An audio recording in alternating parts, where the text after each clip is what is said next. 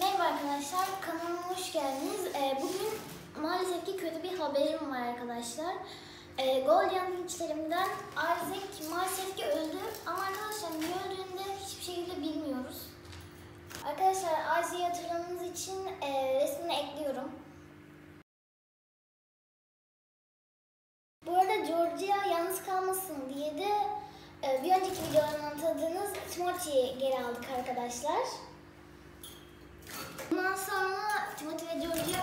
Yaşayacaklar.